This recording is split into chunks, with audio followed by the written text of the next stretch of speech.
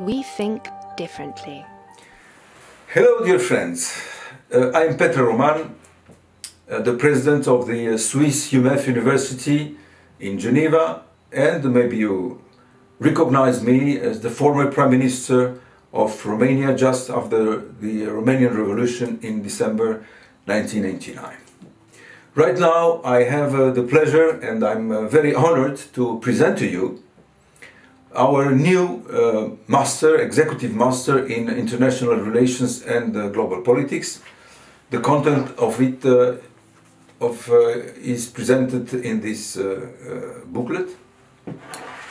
We have a major plan and a great ambition, which is to create a place of dialogue between 40 high personalities of the world, like uh, former presidents, uh, former prime ministers, former ministers or uh, leaders of the economic world, with uh, students, young students or not so young students.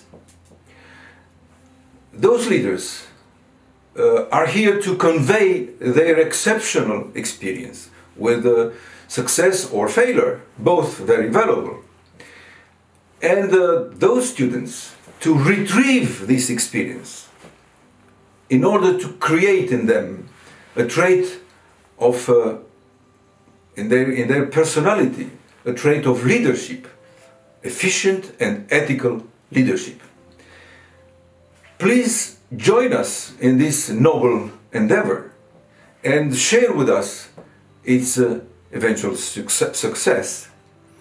and uh, of course, thank you very much for listening to me. And uh, from all my heart, I wish you, with my best feelings, all the best. Bye bye. We think differently.